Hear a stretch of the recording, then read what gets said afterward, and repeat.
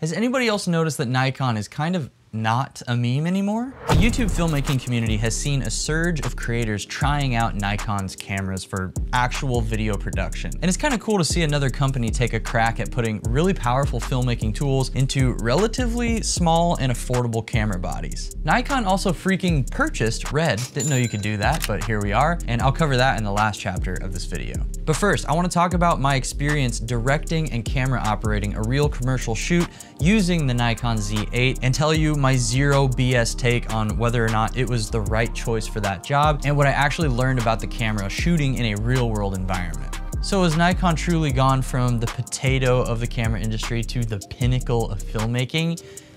Probably not, but let's talk about it anyway. This video is sponsored by Found, a business banking app for freelancers and entrepreneurs. More on them later. Recently, I wrapped up this huge project that I was working on for a couple months called Brotein. Brotein was a fake product commercial that I shot to get the attention of a large gaming streamer, large in terms of subscribers, that wasn't a fat joke, Tim the Tatman.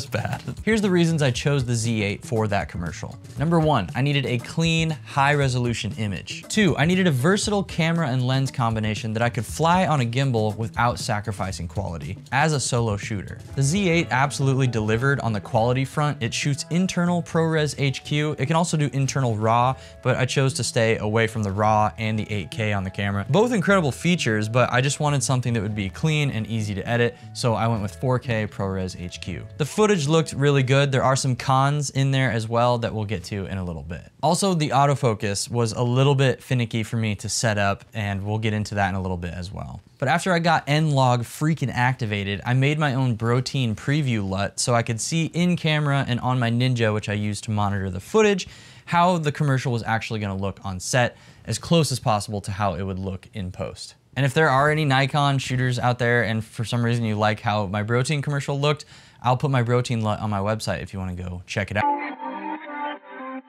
To my surprise, the colors from the N-Log profile actually looked really good and gave me a lot of flexibility in post-production because I was shooting with a great codec, ProRes HQ. The body of the camera feels great. It's pretty large for a mirrorless camera, but it's actually kind of refreshing to hold something that feels more like a DSLR. It's it's more of like a chunk of rooney boonie if you look at it. That's, that's kind of just an industry term. It's not perfect, we'll get into that later, but it's a nice body for sure. The battery life on this camera is excellent, so you have nothing nothing to worry about in that department. And the screen on the back of the camera is good quality, it looks fine. It's also slightly bigger than Sony screens. Like mirrorless camera screens in general are pretty tiny, and I like that Nikon made this one a little bit bigger. There is one huge downside to the screen that we'll have to cover as well, but the quality itself is fine. I only spent about a month in total with this camera, and this shoot was the most grueling thing that I put it through, but during this one day extensive shoot, I really had no problems, and overall, I enjoyed using the camera camera. And I do wanna emphasize that the image quality from this camera looks great.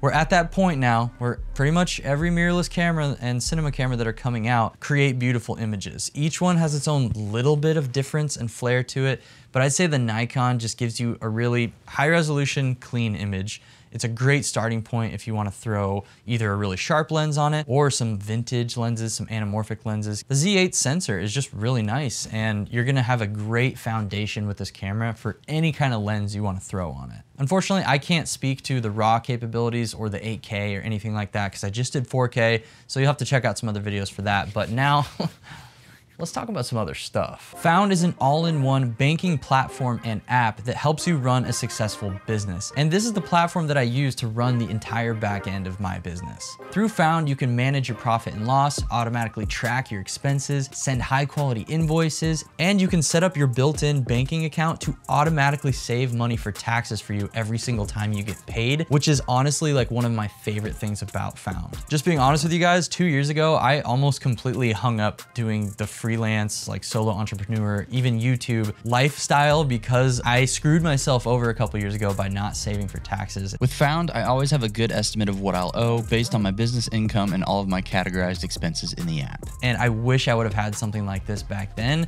to save my cheeks. And when the next tax season rolls around, I can automatically share all of my financial information with my accountant. So hopefully I can maintain what's left of my hairline. Thank God. Plus it's more affordable than the other options out out there and looks way cleaner, which makes it easier to navigate than those other options. It's actually free to sign up and use many of these core features. I encourage you to check it out. So if you're like me a couple years ago and feeling lost with money and business, check out Found at the top link in the description. Supporting my sponsors directly supports my work and allows me to make more fun videos for you guys. So please go check out that link. Let me know what you think. Bars. And please go set yourself up for success. Thank you. Now let's talk about the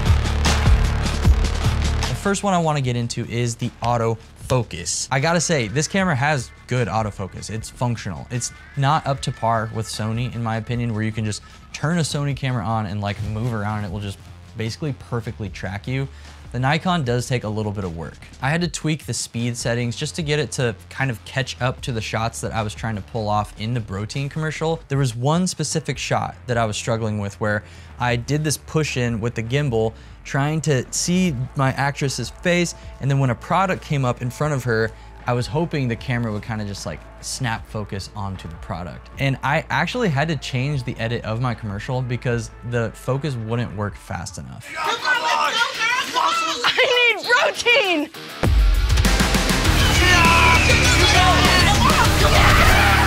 I could have bumped up the speed and probably gotten it to be relatively close, but overall, I think the autofocus on the Z8 is just a bit slower than Sony. But what I will say is it actually kind of makes it look more natural. It doesn't look quite as jumpy and jittery. It kind of smoothly transitions into focus. So it could be a pro or a con depending on what style of stuff that you guys make. And I had the best results by just setting the autofocus to a center zone. Most of my shots I wanted centered anyway, so it worked for my shoot. I would say it's workable, but it's not perfect, obviously, and take that for what it is. I mentioned the screen earlier and that there was one major flaw, and that's the fact that it is just a tilt-up screen. Hold on, this is this is weird. This is the Nikon ZF. This is so incredibly strange to me. This ZF, which is clearly a photocentric looking camera. It looks absolutely gorgeous, feels amazing. It has a flip out vlog style screen. Why? Why, dude? And it's big and juicy too. Look how juicy this is. The Z8 has a,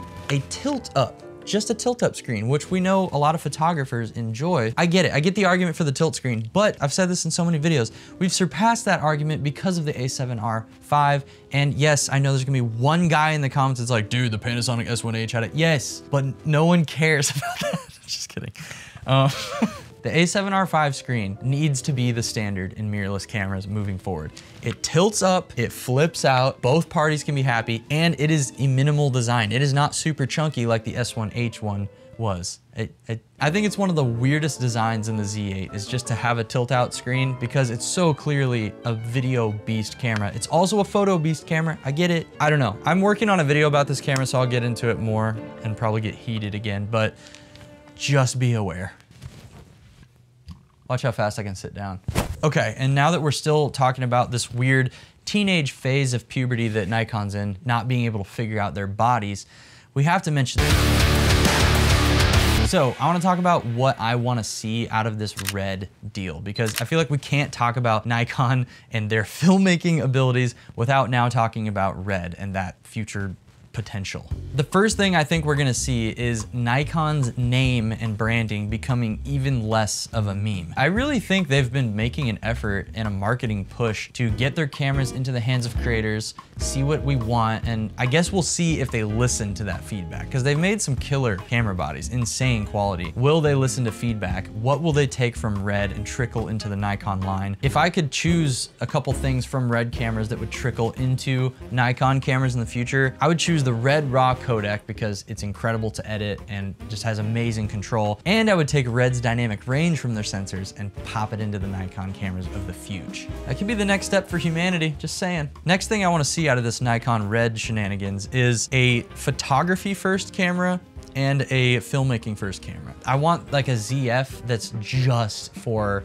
photography. Like you don't give us a flip screen, just photography over here. You're already so good at making photography cameras. Put that here. Then give us like a mirrorless camera like the Z8, but make it like almost completely filmmaking centric. Kind of like the FX3 from Sony. What can Nikon make that's competing with the FX3? That's what I wanna see, and I think that would be really exciting. Make sure to like this channel and subscribe to this video. Comment your best idea that you'd like to see come from this Nikon Red business. Follow me on Instagram for short and dumb stuff. Join our free Discord to join the May fam. Watch out for deer because their antlers are pointy and I will literally rip them off to protect you guys. And text me when you get home so I know you're safe. I've been thinking about you like crazy.